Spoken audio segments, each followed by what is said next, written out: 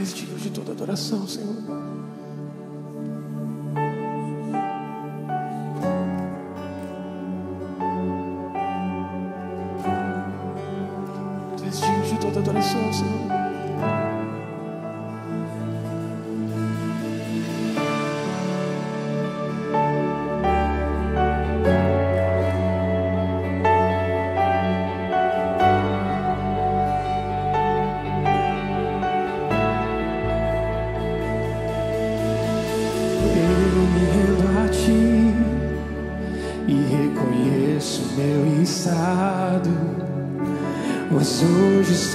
Aqui para confessar os meus pecados.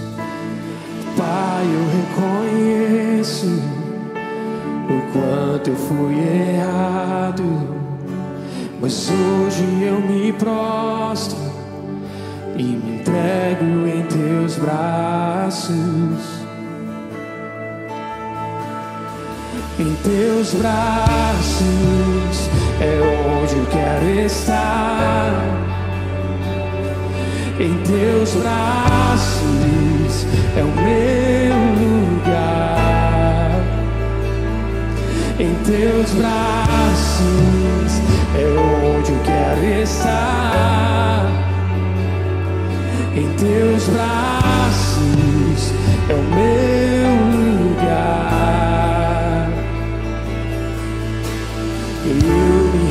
ti e reconheço meu estado.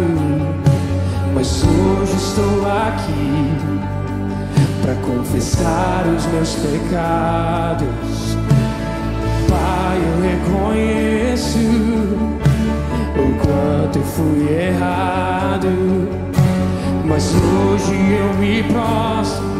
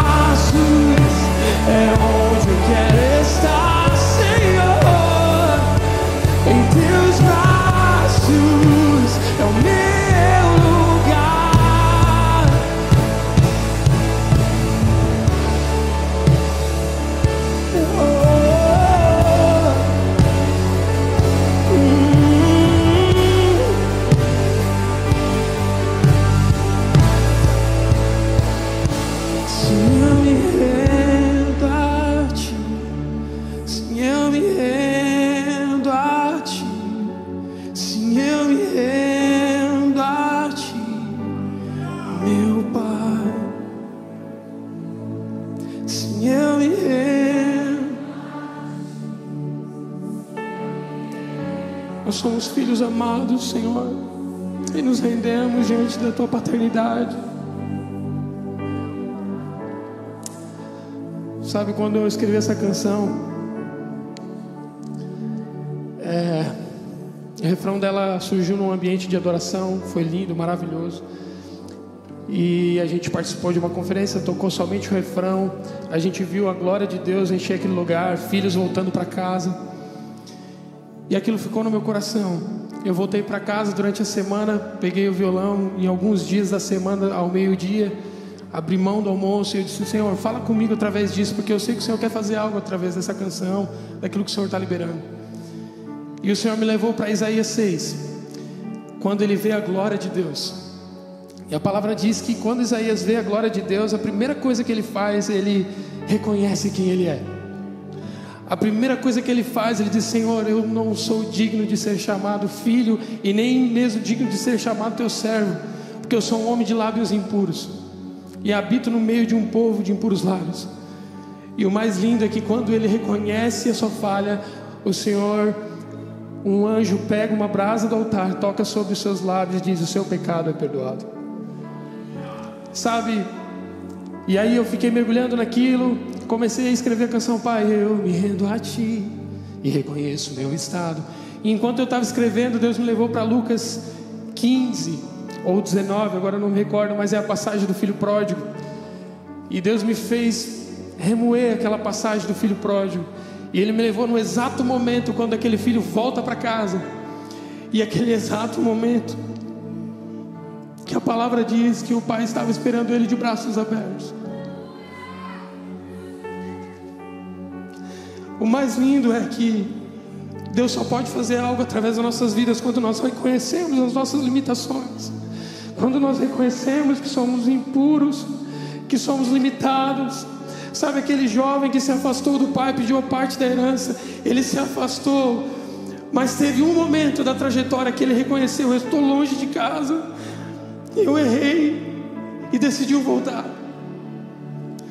Quando eu comecei a escrever essa canção, eu comecei a cair lágrimas. Eu disse, Senhor, que essa canção, quando for tocada em alguns lugares, que os filhos possam voltar para casa. Logo, semanas depois, no lugar onde a gente adorava Deus, era numa casa, num ambiente simples. Nós começamos a cantar essa canção e tinha jovens na outra casa que estavam prontos a ir para uma festa, beber. E de repente eles entraram na, casa onde nós estávamos. E naquele momento eu não vi nada, eu estava adorando a Deus. Mas eu vi aqueles jovens se dobrarem diante do Senhor e chorar, mas chorar, chorar, chorar. Depois no final do culto, o meu pastor na época me chamou, cara, eles vieram aqui e disseram que quando eles estavam escutando a canção, Deus tocou no coração deles para vir aqui. Eles estavam afastados de Jesus e eles queriam voltar. Sabe, quando nós reconhecemos quem nós somos, quando você reconhecer o estado que você está, você abre margem para o Espírito Santo mover em você, para que o Pai possa tocar em você e curar as suas feridas. Nessa noite o Senhor está te chamando, filho e filha que está aqui. Você que está longe da casa do Pai. Você que não tem mais tido prazer na casa do Senhor. O Senhor está te chamando nessa noite. E eu quero te convidar a se render aos pés dele. Eu quero te convidar a se render aos pés da cruz essa noite, neste lugar. Oh Jesus, nós queremos nos render diante de Ti, Pai. Porque nós reconhecemos a Tua paternidade sobre nós. Sabe, há poucos meses eu tive uma filha linda, maravilhosa, está aqui. Um presente de Deus para nós. Esses dias eu estava segurando ela de manhã cedo, 5 horas da manhã, irmão, misericórdia. Quem é pai de recém-nascido aí? Eu embalando ela bem novinha ali, bem pequenininha. E Deus falou comigo assim, filho, é, você ama sua filha? Eu disse, meu Deus, eu faria tudo por ela. É meio clássico, né? Meio clichê, o pai de, de filho falar isso. E Deus ministrando comigo, você ama sua filha? Amo. E quando ela crescer, se ela errar com você, você vai amar ela? Vou amar ela. E se ela acertar e fazer as coisas bem, você vai amar ela? Vai, eu vou amar ela. Filho, da mesma maneira é assim o meu amor por você. Eu te amo, independente de se você tira nota boa ou não. Eu te amo, independente daquilo que você está vivendo ou não. Nessa noite, que o Pai está dizendo para você é: Filho, eu te amo. Talvez o estado que você está nesse momento não é o do melhor. A vida com que você está vivendo é a melhor. Mas o Pai está dizendo para você: Eu te amo, filho. Eu te amo. Será que você pode levantar as suas mãos e dizer: Sim, eu me rendo a ti. Sim, eu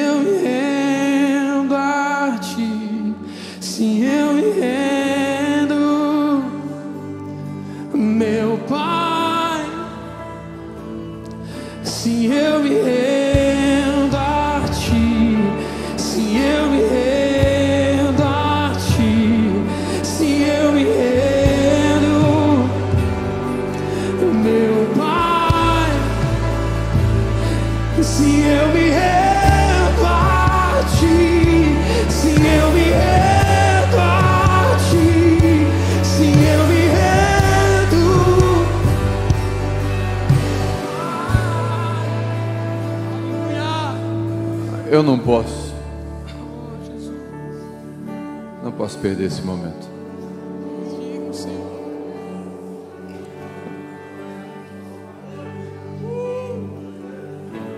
Tem um convite aqui. Você entendeu que tem um convite? Você entendeu que Deus levantou o Will agora aqui para falar para você, você tem um pai está esperando você? Você entendeu o que, que Deus usou Will para falar aqui? Que não importa se você usou droga ontem, Ele está dizendo: Você é meu filho, eu te amo igual. Pode voltar para casa. Eu te recebo, eu estou esperando você. Então, se você está aqui, essa palavra, enquanto Ele ministrou, falou com você, eu não vou, não vou nem pregar. Se você está aqui, vem aqui na frente, a gente quer abraçar você. O Pai está esperando. Vem cá. Pode vir, vem cá. Pode vir, vem cá. Pode vir, vem cá. Não, vem cá, pode vir. Pode vir, vem cá. Vem aqui na frente, vem aqui na frente. Vem aqui na frente, o Senhor está dizendo: Você é meu filho, eu quero você de volta. Não, você não está entendendo, o filho está voltando para casa.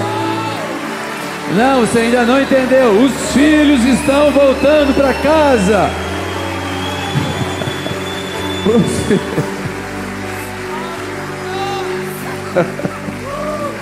Os Os filhos estão voltando para casa. Pode ministrar essa canção, Will. Pode ministrar, vou pedir para os irmãos, os líderes de convívio, os pastores, vir aqui abraçar esses irmãos.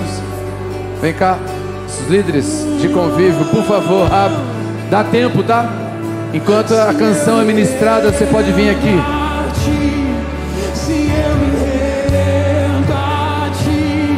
Aleluia.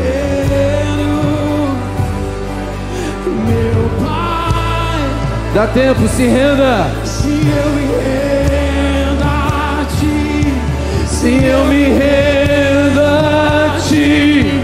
Se eu me rendo, meu Pai, Aleluia. se eu me rendo a ti, se eu me rendo a ti, se eu me rendo a ti, meu Volta para casa. se eu me rendo a ti, se eu me rendo.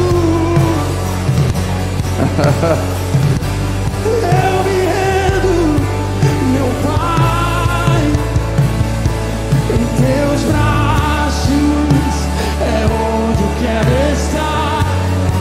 Aleluia. Tem filhos sendo renovados do Espírito Santo aqui na frente, ó.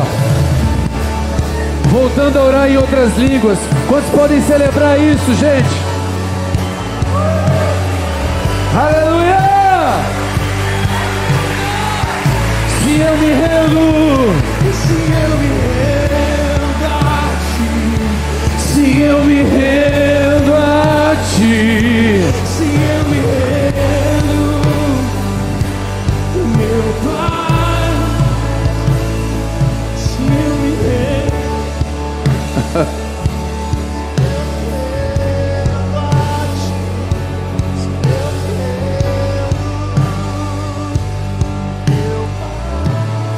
Eu sei, eu sei.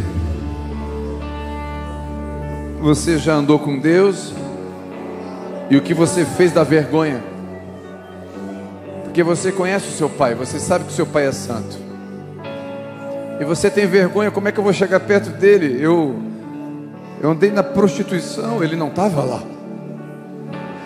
Eu fiz coisas, falei coisas que eu tenho vergonha de pronunciar. Como é que eu volto para a casa do meu pai? A casa do meu pai é uma casa de dos irmãos que não erram. Não, esse ensino não foi equilibrado para você. É verdade, o seu pai é santo. Vou repetir, é verdade, o seu pai é santo. Mas o que deixa você santo não é o seu esforço. O que deixa você parecido com o seu pai é ficar perto dele. Quanto mais perto de Deus você fica, mais parecido com o seu pai você fica. E Deus está dizendo para você, filho, eu sei onde você andou, eu sei que você falou e sei que você fez. Eu não tenho problema com isso, porque o meu sangue é poderoso para purificar qualquer pecado. O meu sangue é poderoso para cobrir qualquer pecado. Por isso que a graça está aqui sobre nós. Tem graça, a gente recebe esses irmãos de volta. Nós recebemos esses irmãos de volta. Eles estão voltando para a casa do Pai e nós dizemos: são bem-vindos. São bem-vindos. São bem-vindos. São bem-vindos. São bem-vindos. Você é bem-vinda. Você é bem-vinda. Você é bem-vindo. Vocês são bem-vindos. Aleluia!